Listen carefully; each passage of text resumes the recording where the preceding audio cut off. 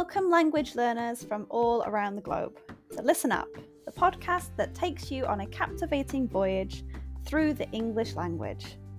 Whether you've just started your journey or have been navigating the intricacies of English for some time, this podcast is designed to be your trusty compass, guiding you towards fluency and unlocking the wonders of English.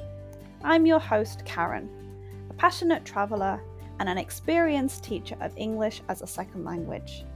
Join me as we embark on an exciting expedition filled with British history read by a native speaker. Together, we'll conquer the challenges and celebrate the victories of learning English as a foreign language. Each episode of Listen Up will immerse you in a variety of topics, from aspects of British culture, history, and literature we'll explore useful vocabulary that will empower you to communicate confidently in English. If you want to read along with the podcast, head to my website www.onepawinthesand.com slash ESL. The link is in the description. But this podcast isn't just about learning English in isolation. It's about building a community of language learners, supporting one another, and fostering a love of the English language. I encourage you to engage with us through my Patreon page, where you can connect with fellow learners, ask questions, and share your own language journey. So, whether you're sipping tea in Tokyo, walking the streets in Sao Paulo, or studying in a bustling cafe in Berlin, listen up is here to accompany you on your quest for English fluency. Join me as we embark on this transformative expedition where language becomes an adventure and your dreams of effective communication become a reality.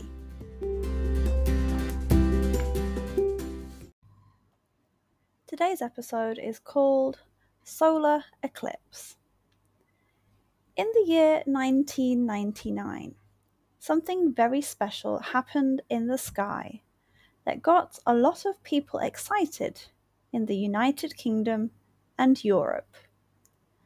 It was called a total solar eclipse.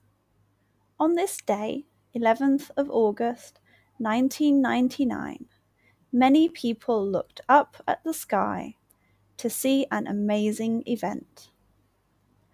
This event made a strong memory for those who were lucky enough to see it. People who loved science, those who were just curious, and even people who were doubtful were all amazed by the wonders of the universe coming together. A total solar eclipse is when the moon moves between the earth and the sun, making a shadow on our planet and making the sun's bright light disappear for a short time. As the moon's shadow crossed over the UK on that special day in the morning, people felt excited and were looking forward to it. Certain parts of the UK, like Cornwall and some places in Devon, got to see the sun completely covered by the moon. This made the daylight turn to a strange kind of twilight. Birds stopped making noise, and it got cooler, making the atmosphere feel really magical. The 1999 solar eclipse was not just something interesting to look at.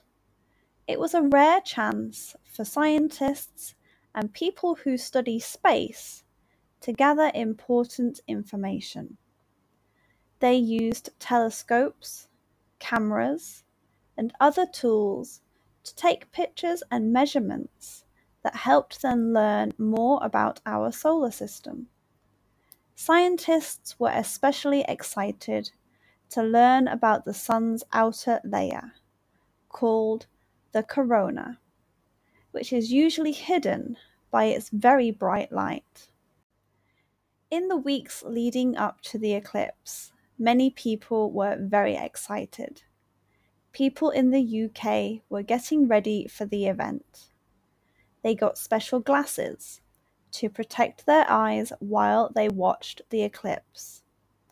I remember schools using the eclipse as a special lesson to teach about how the solar system works and why eclipses are rare.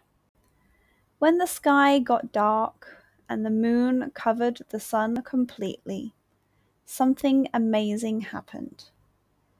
People were stunned and filled with wonder when they saw a glowing ring around the dark moon. It looked like magic.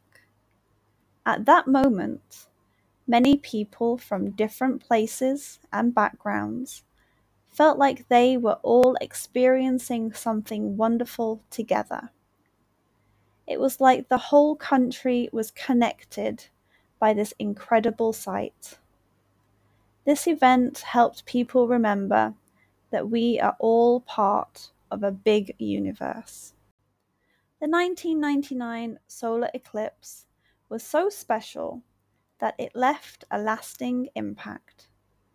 It inspired young people to become interested in space and learn more about how planets and stars move. It also showed how important it is to learn about science. People started to look at the sky with new curiosity. The next time a full eclipse like this will happen in the UK is not until 2090, so many people felt very lucky to have seen it. It truly was a once in a lifetime experience for many.